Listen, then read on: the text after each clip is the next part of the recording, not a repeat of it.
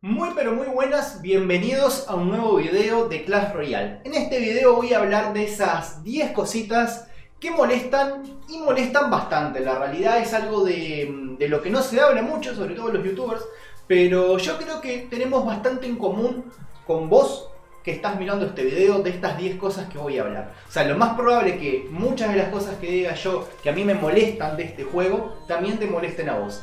Así que bueno, Vamos a empezar con la primera ya, así no tenemos mucho preámbulo y me voy por las ramas. ¿A quién nunca le pasó quedarse, chicos, a un trofeo, a una copa de pasar de liga o pasar de arena, ¿no? Es como que vos estás ahí, decís, está perfecto, está jugando, pim, pim, pim, voy a ganar, es esta batalla, me dan mis 29 copas que preciso y listo. Paso a, no sé, eh, Liga 3, chicos. Paso a Combatientes 3, ¿no? Estoy ahí perfecto. Las espaditas de oro que todos queremos. 4600 copas. Precisás tus, tus 29 copitas para llegar. Y de pronto ganás la partida, ¿no? Estás acá con el celular. Ganás la partida.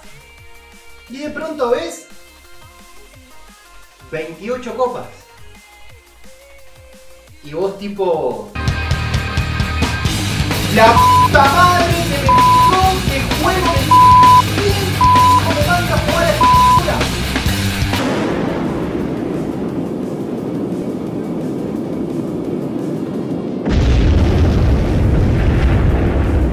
Y así es como un celular se transforma en una bomba atómica. Básicamente, chicos, ¿a quién nunca le pasó eso, por favor? Y la realidad es que después jugás de vuelta y el juego te encaja el counter. Es tipo, decís, es la próxima, es la próxima. Me quedé a un trofeo. Jugás la próxima, pumba, meta counter, lleve, hijo, vuelve. No va a pasar hoy a combatientes 3. Sí, eso me enoja muchísimo. A mí hay una cosa que me molesta bastante y es los gemeros por un lado, más los bemeros, o sea, más la gente que hace BM, chicos. Gemeros más BM, mi cabeza explota realmente porque no puedo soportar. Cuando vos estás jugando una partida, viene un tipo que tiene las cartas muchísimo más altas que vos, te empieza a hacer BM, vos no podés, que el tipo te suelta el gol en al 8, que vos tenés tu cañoncito al 10, ponele y cómo parás un gol en al 8 y el tipo que se te empieza a reír y ahí otra vez que querés agarrar el celular y partirlo a la mitad, ¿no? Ese es el número 2, chicos.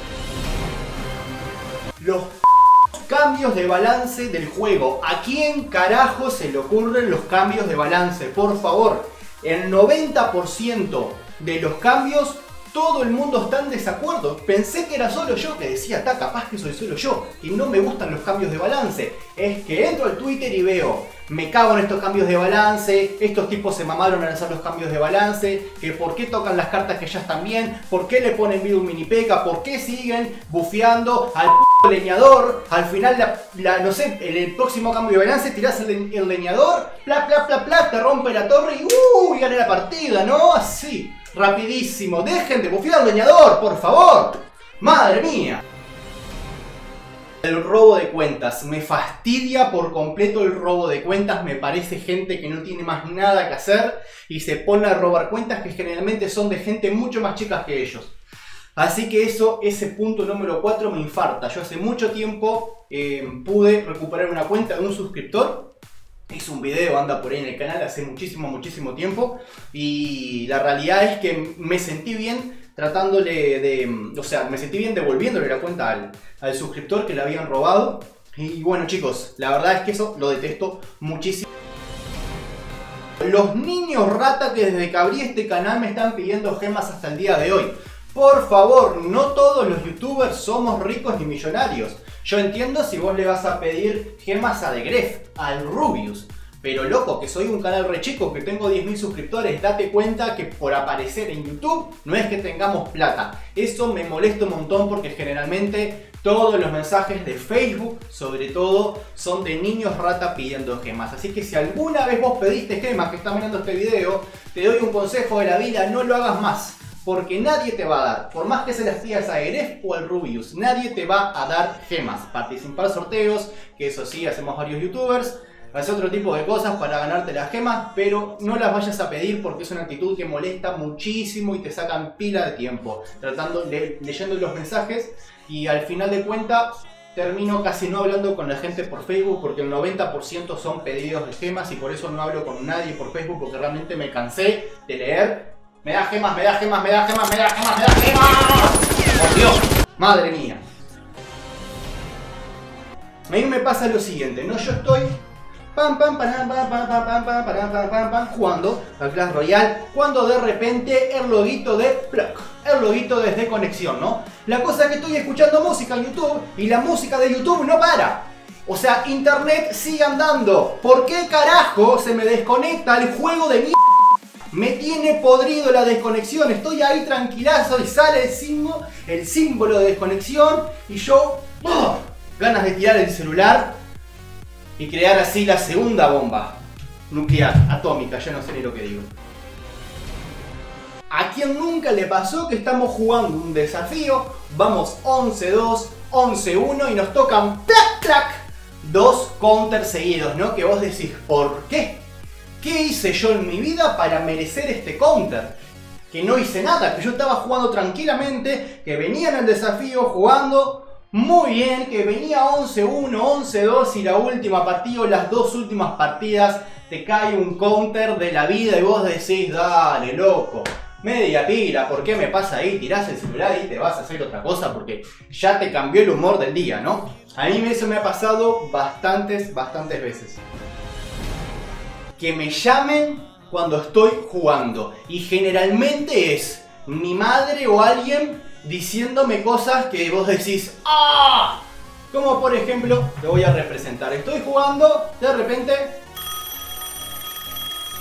Hola, ¿cómo andas, madre? ¿Todo bien? Sí, perfecto. No, no, acá no está lloviendo. No, no tengo ropa afuera. Dale, dale, dale. Chao, chao, besos. Colgás, tratás de seguir jugando. Muchas veces enganchás la partida y decís, está perfecto. Seguimos cuando de repente te llama tu madre de vuelta, ¿no? Y vos ya ahí temblando, con cara de loco, la atendés. Hola, ¿qué pasó ahora? Sí, decime, mamita hermosa de mi vida, decime. No, no, no, no, el perro no se quedó sin comida. ¿Algo más? Dale, chao, que pases lindo. Colgás, te das cuenta que perdiste la partida, agarras el celular, lo dejas en la mesa, anda la ¿no? Básicamente es eso lo que pasa cuando llama una madre. Me ha llamado muchísimas veces mientras estoy jugando partida y que me enloquezco bastante. ¿Por qué cada vez que sale una carta tiene que estar OP? ¿Por qué? ¿Por qué? Que alguien me lo explique. Yo tengo una teoría y es la siguiente. Debido a todas las cuentas que están maxiadas en Clash Royale, cuando sale una nueva carta, si vos no la tenés maxiada, no te va a servir. Por lo tanto, empezás a ir a tirar la platita como un loco, ¿no? Abriendo cofres una vez que consigas la carta del desafío, si la conseguís de primera, si sos un pro player de la vida. Pero hay mucha gente que no. Entonces hay gente que se pone gemas para jugar desafíos, para, porque la carta tope, porque queremos esa carta, porque queremos ganar con esa carta, para que después de un mes, básicamente, Clash Royale genere toda esa plata en gemas y diga, bueno, ya está, perfecto, nos hicimos unos cuantos millones de dólares, vamos a nerfear la carta y seguir el juego y pensar en otra cartita más, a ver cómo le seguimos sacando más, más platita a estos jugadores. Basta Supercell, por favor, de hacer eso. ¿Por qué cada carta tiene que estar OP? Cada vez que la sacás, que no tiene sentido. Si es un juego donde hay 70 y pico de cartas, saca una carta balanceada. Todo el mundo la va a querer igual porque es la nueva carta. Pero ¿por qué tiene que estar OP? ¿No tenés bastante plata ya? ¿Que necesitas sacar una carta OP? para que la gente te compre gemas. Por favor, por favor. El clickbait abusivo me pega en el quinto forro de la ¿no? Y no sé qué me molesta más, si el tipo que hace el clickbait o la gente que va a ver el video, ¿no? Porque si yo digo, jugar a las 3 de la mañana que te sale legendaria y ahí ese video tiene un millón y medio de visitas Pero que no, loco, que no por jugar a las 3 de la mañana te vas a sacar una legendaria. ¡Por Dios! ¡Por Dios! ¿Quién si todo el mundo sabe que hay un ciclo de cofres? Pues allá va un youtuber o cualquiera, hace un video que a las 3 de la mañana te sale una legendaria y allá va un millón de personas a verlo.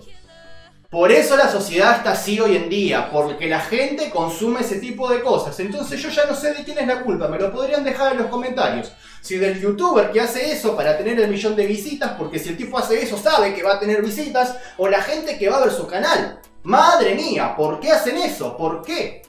Es evidente que no te va a tocar legendaria, es evidente que hay un ciclo de cofres. Y así puedo seguir toda la noche nombrando videos de clickbait que no tienen ningún tipo de sentido, pero tienen 850.000 visitas. Mínimo, ¿no?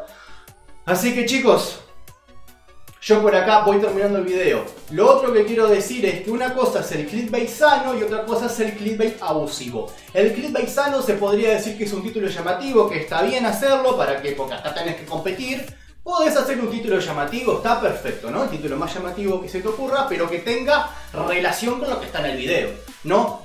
Ya, un título de un clickbait abusivo sería ese. Jugar a las 3 de la mañana que te sale legendaria. Juego a las 6, 2.66. No busqué un video así, pero seguro que hay, ¿no? La hora del diablo, te sale un cofre super mágico. Que no, que no te va a salir un cofre super mágico. Que el tipo se fijó, el ciclo de sus cofres, empezó una partida a las 6, a las 6, 2.6 minutos. Y listo, chicos, y 6 segundos siguieron, ¿no? 6 horas, 6 de la mañana o 6 de la tarde. La tarde sería 18, así que sería 6 de la mañana, 6 minutos, 6 segundos. Y ahí está el tipo haciendo un video y que no, que es el ciclo de cofres. Pero por Dios, así como se me ocurrió ese clip y que no sé si existe, pero debe existir.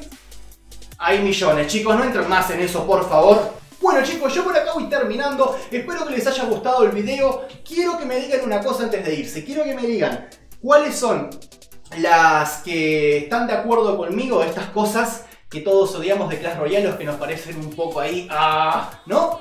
Pero bueno, díganmelo ahí en los comentarios. Y también me gustaría saber si les gusta este tipo de video un poquito más editados, que le estuve metiendo un poco de mano a la edición básicamente para ustedes. Me llevó, estos videos editados llevan bastantes más horas obviamente que, que los otros videos más normales. Así que si a ustedes les gusta lo voy a seguir haciendo y cada vez más. Deja tu manito para arriba si te gusta el video editado, también dejame un comentario. Me gusta un video editado. Así no nos confundimos y todo el mundo sabe lo que tiene que poner.